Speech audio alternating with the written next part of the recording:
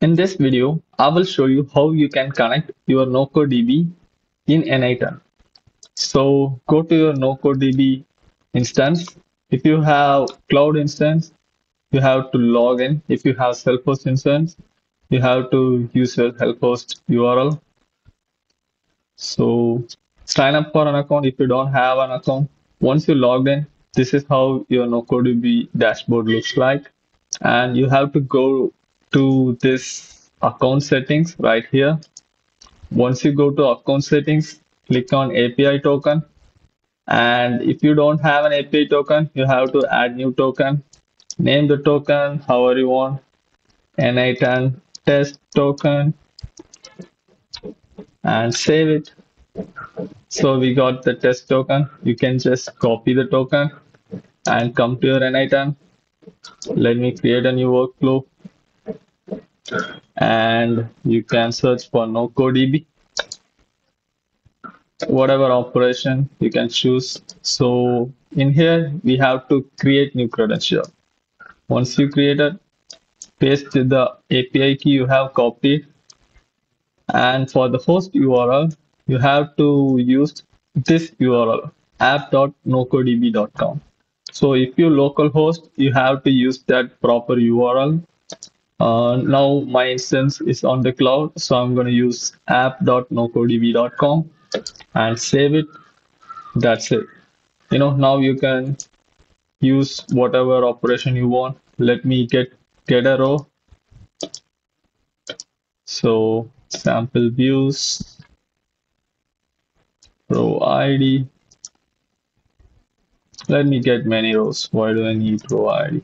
You know, return all. You see it's working, right? You can also do create rows, whatever operation.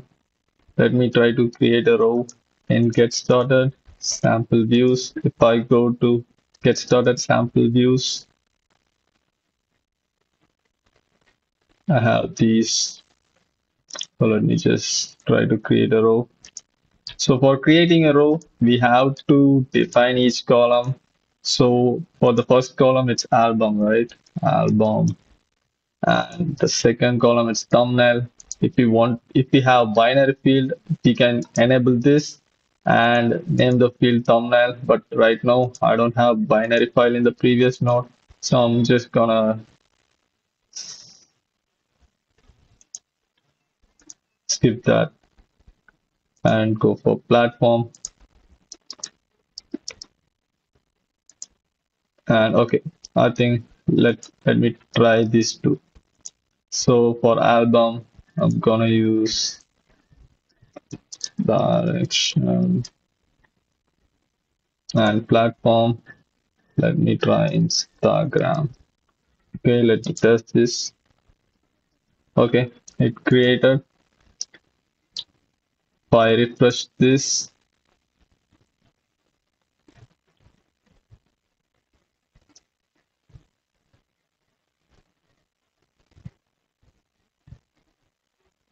you can see that row is added.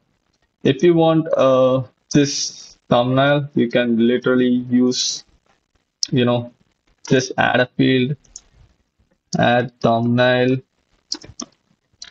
enable the binary. You need to have binary file in the previous node. So let me try this one too.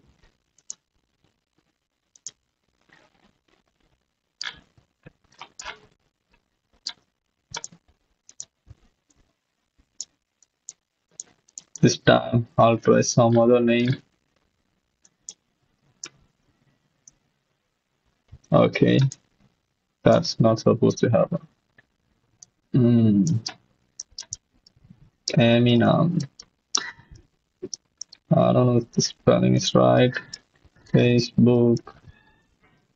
And take the input, which is data, which must be data from previous node. Let me test this. Okay, it ran successful. Let me refresh here.